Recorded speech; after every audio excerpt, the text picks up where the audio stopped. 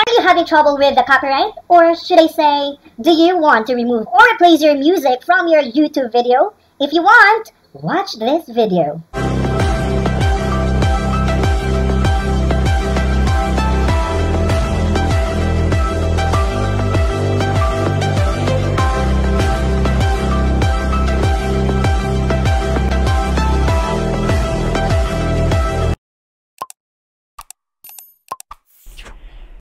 Guys! Welcome back to our YouTube channel, Jeff and Grace Vlogs. And for today's video, we're gonna talk about how to remove or replace your copyrighted music from your YouTube channel. Yes, it is very important for us to know about this because as a YouTuber, ayaw natin na makopyright. So ano pa inaantay nyo? Kung bago ka pa lang dito sa ating YouTube channel, Don't forget to hit the notification bell para lagi kang updated sa ating mga video. The very first thing that we need to do is to go to the profile picture of your channel which you could see on the upper right corner of the screen. Now once done clicking it, go to YouTube Studio. Then go to the left side of the screen, you will see videos. Click videos.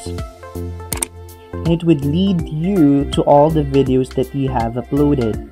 Now select the specific video that you want that has a copyright. So let's select mga ganap sa pageant and hover this mouse to the copyright claim for you to see see details.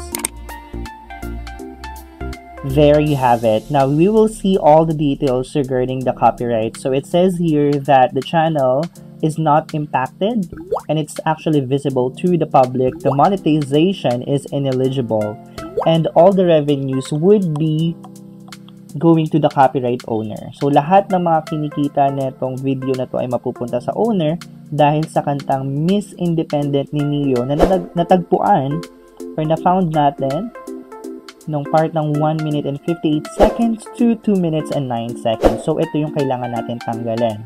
But before we do anything else, you have to watch on the video at alamin mo muna talaga kung anong part or which part doon ng video yung may kanta.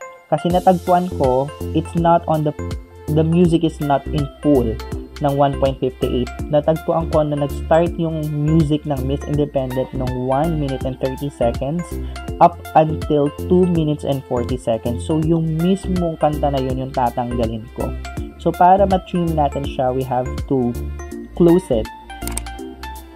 Right? Now, click mo ulit itong mga ganap sa pageant, may makikita ka dong pen icon. Now, click the pen icon. Now, on the left side of the screen, you will see editor. Click editor. Okay.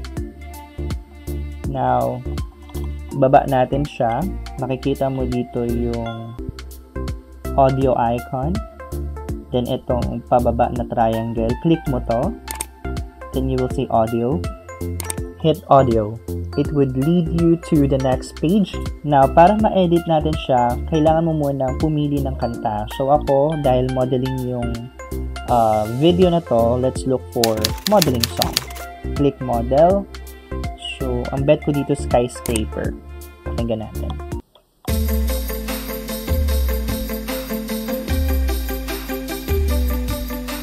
So, itong mga kantang to is free.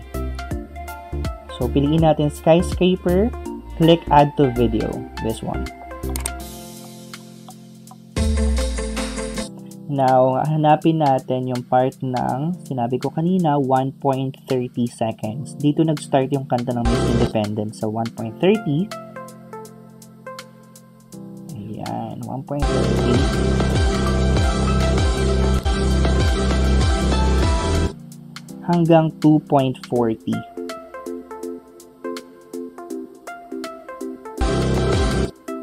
This one. Alright.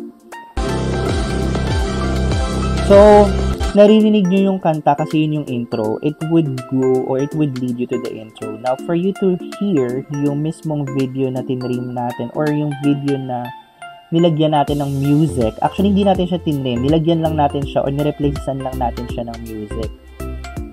So, para marinig mo yung replace the music ng skyscraper, go to 1.30 or this one.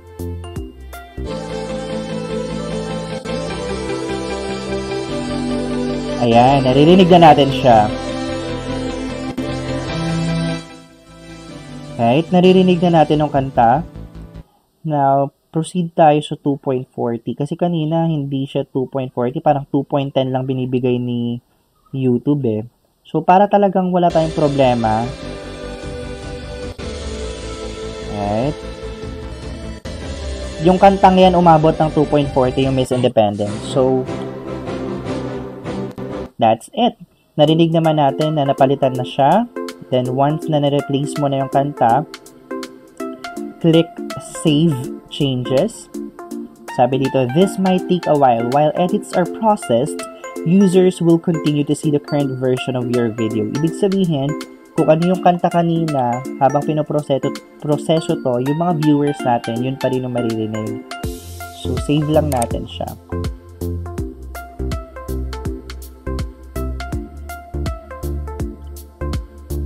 Alright, so, it would lead you back to the channel videos dito sa mga videos na to. So, para marinig natin kung talagang nagbago na siya, we can just go to the videos itself. So, specific video na mga ganap sa pageant. Then, click mo to. Or let us just locate the mouse to 1.30 seconds para ma-verify natin yung song. Kung nandun na talaga siya. Let's play it. Alright, so naririnig na natin siya. Check natin sa 2.40 malapit kung nandun nga din natapos. Well, that's perfectly done, right? So, alam ko lahat sa atin natuto and I'm so glad na tayong lahat ay sama-sama na nag enjoy at natututo dito po sa ating channel. Have you learned from today's tutorial? If yes, don't forget to thumbs up and if you're just new here, don't forget to hit the notification bell para lagi kang updated sa ating mga videos. And always remember that God loves you all. Thank you so much for watching and God bless you, mga best!